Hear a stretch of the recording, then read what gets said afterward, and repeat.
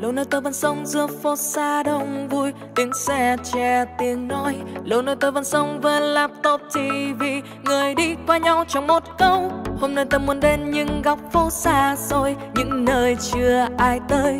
Hôm nay tôi muốn đến những ngóc ngách thôn quê, giờ đây tôi cất hết bao nỗi buồn. Mai. Bon bon trên những chuyến xe. Cơn thấy bao nỗi buồn phá không gian, giam cầm ta trong những ưu tư mỗi ngày. Nắm lấy thế giới tôi đang nhìn kia trong ra đằng xa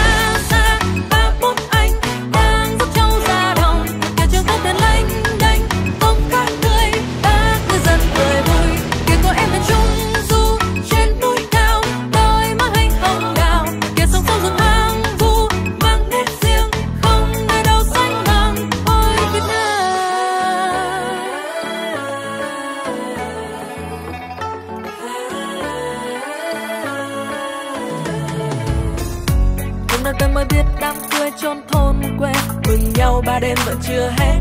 Hôm nay ta mới biết những vách núi treo leo, chợ khuya sapa tỉnh lai lang.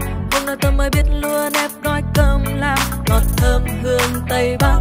Hôm nay ta mới biết mai ngói vách tranh xưa, giờ đây tôi cất hết bao nỗi buồn sách ta lô lên và đi không nghĩ suy âu lo về ngày mai.